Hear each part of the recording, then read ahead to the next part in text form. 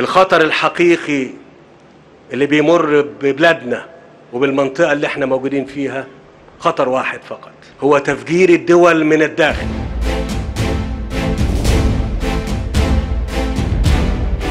خنجر في ظهر الوطن إنها الشائعات التي يتم تداولها بين الحين والآخر على صفحات مواقع التواصل الاجتماعي المختلفة التي يروجها أعداء الوطن بهدف زعزعة أمن واستقرار البلاد.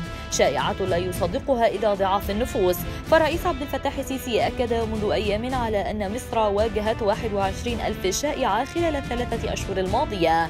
شائعات من بينها شطب 200 ألف أسرة من المعاشات وإضافة مادة للخبز للحد من الزيادة السكانية. وشائعات انتشار الأرز المسرطن والبلاستيك وانتشار البيض الصيني ومئات الشائعات الخاصة بالأسعار.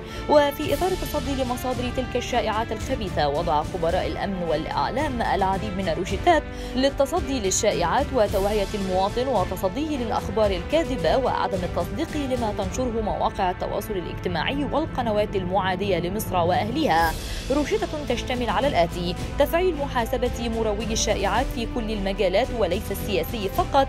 فالشائعات الاقتصادية والدينية والأخلاقية والفنية تهيئ المناخ لأي شائعات أخرى. فتح آفاق لحرية الصحافة والتعبير والبحث العلمي وتخفيف حدة الرقابة القبلية من الجهات الرسمية لأنها تفتح أبواب كثيرة للتكهنات والاحتمالات في أي قرار. سهولة انسياب المعلومات وتداولها من مصادرها الرسمية إلى وسائل الإعلام. إعادة النظر في السياسة الإعلامية برمتها التي تسير في وادي والجمهور في واد آخر. ضرورة تقديم تفسيرات للقرارات السياسية حتى لا نترك مجال لمروج الشائعات لبث السموم. إصلاح منظومة التعليم والإعلام لمواجهة التردي الثقافي لاستعادة الشخصية المصرية.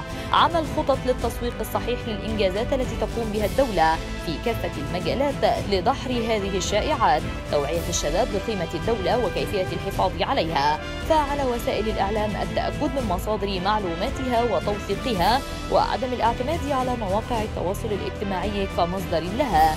زيادة مراقبة صفحات التواصل الاجتماعي ومكافحة الشائعات فالقانون غلظ عقوبة من يقوم بترويج الشائعات حيث تكون العقوبة السجن وغرامة لا تقل عن 100 جنيه ولا تجاوز 500 جنيه إذا وقعت الجريمة في زمن الحرب. فمواقع التواصل الاجتماعي أصبحت منبرا لمن لا منبر له وتقوم كتائب الشر الإعلامي من خلال حساباتهم الوهمية ببث الأكاذيب والشائعات وتغيير الحقائق لمحاولة تدمير بلادنا وتدبيرها من الداخل.